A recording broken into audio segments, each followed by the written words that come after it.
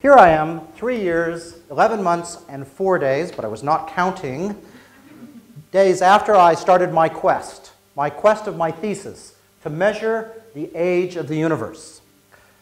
You see, in 1929, Edwin Hubble realized the universe was expanding. Like points on a balloon that's inflating, every galaxy is moving from every other. The further the separation, the faster the motion. The universe expands into the future, and the Big Bang, well, that's at the center, at the start of the inflation of the balloon. If I measure the universe's rate of expansion out, I can run it in reverse, figure out how old the universe is.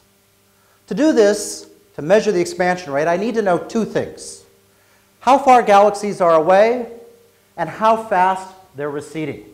Now, measuring the recession of a galaxy is easy because its light will be stretched by the expanding universe. And I can measure that with incredible accuracy. But distances, they are hard. They're hard because galaxies are made up of billions of stars so far away that they form amorphous blobs of unpredictable size or shape. Since 1929, astronomers around the world have been attempting to bootstrap distances from the solar system, which we do understand, to these distant galaxies without much success. But I am doing it differently. I am using a form of exploding star known as a Type II supernovae. Stars that are eight times or larger than our sun die horrible deaths, where gravity takes their cores as they run out of nuclear fuel and collapses it, releasing huge amounts of energy causing their outer bits to expand at tens of thousands of kilometers per second, and it heats their surface to hundreds of thousands of degrees. Supernovae are like light bulbs, and I can use physics to figure out their wattage. Like a light bulb, the hotter a supernova is, the brighter it will be, and the bluer it will be. Like a light bulb, the larger the surface area, the brighter it will be. Now, I can measure how hot a supernova is by its color. But to measure its size, I need to use a trick that I can only use for supernovae. And that's the fact that they're expanding. I can measure their size by multiplying how long it's been since the time of explosion times how fast they're expanding. That tells me their size. I know their temperature, I know their size, I can calculate their wattage. Then I can measure how bright they appear on Earth, and I can use that information to figure out their distance directly. The further away they are, the fainter they will appear. In this diagram, I am showing the distances of galaxies versus their recession rate. And I have measured the age of the universe, 14 billion years old. But there's an issue. Einstein showed that gravity will slow the universe down meaning my extrapolation into the past will be wrong. My number might be a little larger than what the correct answer is. So I'm moving to the Australian National University to use the world's largest telescopes to look at really distant objects, objects whose light takes billions of years to reach us. And I'm going to measure how fast the universe is expanding in the past and see how much the universe has slowed down over the six billion years that I can measure. I don't know what I'm going to find, but I do know that whatever I do will help humanity understand our place in the universe.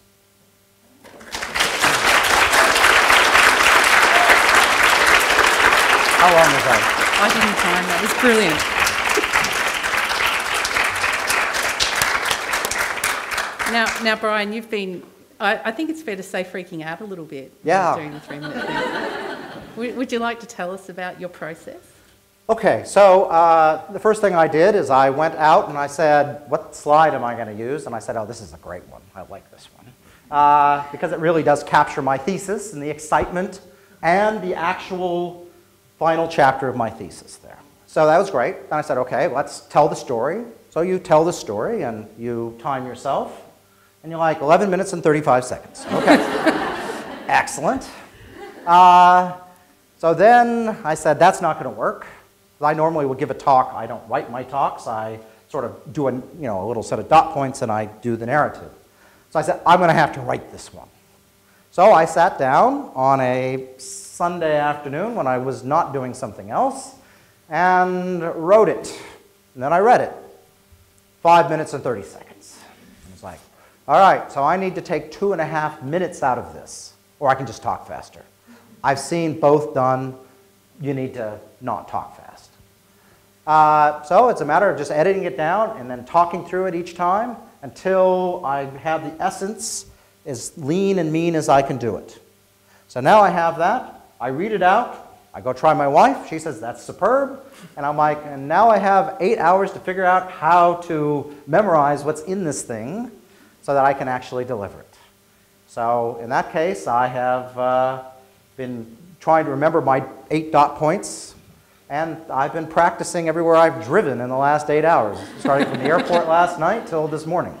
So if I nearly ran you over, that was because I was talking to you about what I just did to make sure I could sort of get it. And the amazing thing, which I was just telling Erin, is that um, when I was a graduate student, I found speaking publicly very nerve-wracking. And now I don't, except for this was nerve-wracking. And it was nerve-wracking because when I'm practicing something, normally you don't have to be precise. And so if I screw up a little bit, I can, you know, I can say, well, let me re-explain that. But you don't have time in this. You got to get it pretty well spot on. And when I practice in a car, uh, it's different. And I make mistakes, and I'm umming and awing and doing all those things. And I wasn't sure, because I just literally did my last practice five minutes between walking in here. I'm like, eh, it wasn't going very well in the car but I delivered much better than I've ever done in the car up here. So you never know how it's going to go.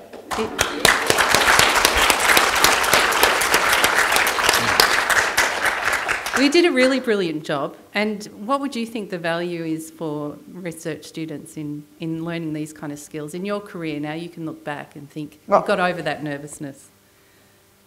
So, research is not just about learning about your little bit of the universe or humanity and keeping it secret. Maybe that's what it used to be, but it certainly is not now. Research and what this university about is learning and then communicating. And communicating is hard. It's a matter of being able to have a clear, concise narrative where you can get people to understand what's going in your mind. It doesn't matter if it's your research or just explaining people how to you know, make a loaf of bread.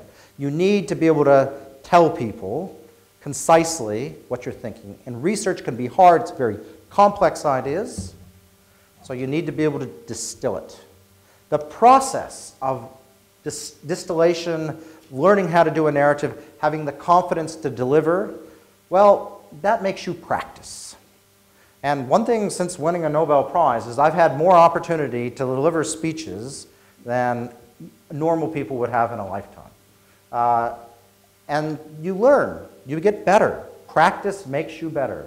And I think doing something like a three-minute thesis is a very concentrated effort where you're working on a, a, skill that will last a lifetime. And it's that practice that makes you maybe not perfect, but a lot better. Mm. So in my case, well, why did I get the job that I got at Mount Stromlo? Because I gave my three-minute thesis effectively to Professor Jeremy Mould, who was also using the Hubble Space Telescope to measure the same measurement himself, uh, and I got him excited. And he knew what I was capable of doing, and he gave me a job. Why did I convince the world as a 27-year-old to give me 20% of the world's large telescope time worth millions upon millions of dollars. Because I convinced a team of 19 people that this was a project we could do together. And this came not by doing a bad presentation, it caused by getting people excited. As vice chancellor, I cannot tell the university what to do. I mean, I can, but they won't listen. All that I can do is convince people that we have a common goal, that we want to do this together. And if I'm a bad communicator, you're going to go to sleep and not come and see me. You're going to do whatever you want.